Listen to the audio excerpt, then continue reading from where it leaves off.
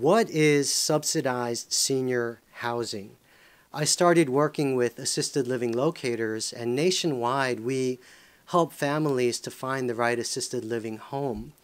But I learned that many people think that assisted living refers to subsidized housing. And that is uh, totally understandable. The definitions can be very confusing. If you don't know what assisted living is, then please watch my previous video with the title, What is an Assisted Living Facility?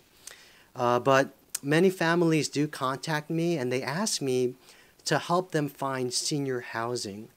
And when I try to find out more details of their situation, basically they explain, oh, my parents are healthy, but if you could help us find one of those nice apartments for people who are struggling financially, who only have to pay about $200 a month.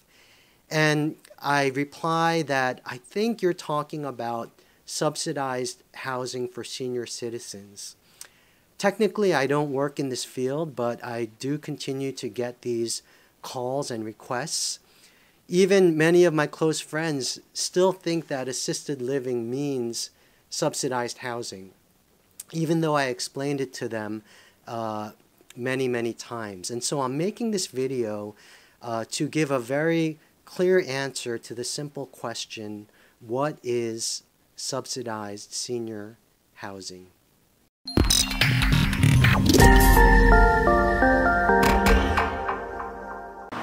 I live in the town of Paramus and uh, I'm very proud that our town takes care of veterans. This is a very unique subsidized housing in that there's a public sign and uh, it's built for veterans and it's a very nice set of townhomes and I'll give you a little bit better view of the um, townhomes here.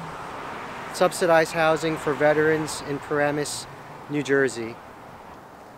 I'm in Fort Lee, New Jersey and the tall building behind me uh, is a subsidized senior housing uh, I've been inside and it's a very nice building on the inside and the outside. Uh, because we're close to New York City, the buildings do get taller and bigger and that's uh, one very nice example of uh, subsidized senior housing here in Fort Lee, New Jersey. When I was in junior high school, I was um, physically assaulted by two young men uh, who punched me in the face repeatedly for no reason. Uh, it was in broad daylight in New York City, and later I realized I happened to be in front of the uh, public housing projects. Uh, over the years, I've been inside numerous Section 8 HUD public housing projects, delivering Christmas gifts to children for a program called Angel Tree. And I could tell you that uh, subsidized senior housing is very different from subsidized housing for the general public. Very different. Uh, many people use the term senior housing to refer to subsidized senior housing. And these uh, apartments and properties are usually very well kept, very clean, nice on the outside and inside, and very safe. Uh, they usually look just as nice as any other apartment or housing in the surrounding neighborhood. There's no stigma attached to it. Uh, subsidized senior housing is income-based affordable housing for people 65 and older or 62 and older. Uh, generally, you can apply at the age of 62. Uh, your rent is based on 30% of your adjusted gross income. If you have an income of $1,000 a month, then you'll be paying $300 a month for rent. Uh, the, there is an application to fill out for each building and you need to provide your proof of income and residency. You need to be a citizen or green card holder. Uh, most of the applications are free. Some charge a nominal fee of $25 or $50. Uh, this is um, a nationwide resource called Seniors Blue Book. This one is for Bergen and Passaic counties in New Jersey. It says Directory uh, of Senior Housing and Resources. In this booklet, there's a section that, that is called Independent and Retirement Communities. Under that section, there is a list of HUD subsidized apartments. And in these two counties alone, there's over 40 of them listed.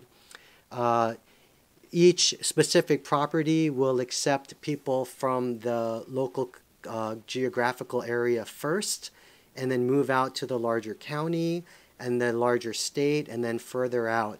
Uh, each housing building has its own uh, set of criteria. Some accept seniors only, some accept seniors and people with disabilities. Uh, most people will apply to one building according to their geographic location. If you're lucky, you'll wait only a few months. Some wait a few years, and some wait over 10 years according to the building and neighborhood that they applied to. Uh, once you're accepted, you won't be pushed out. And uh, it's pretty amazing that in our country, we're still able to provide quality housing for senior citizens in need.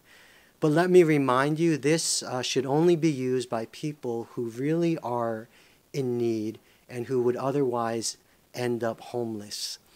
I will continue to um, put out a video every week. If this video was helpful, it would be great if you could press like. If you want to see future videos, please press, press subscribe. And you are more than welcome to share this video and leave comments below. Thank you for watching. See you next time.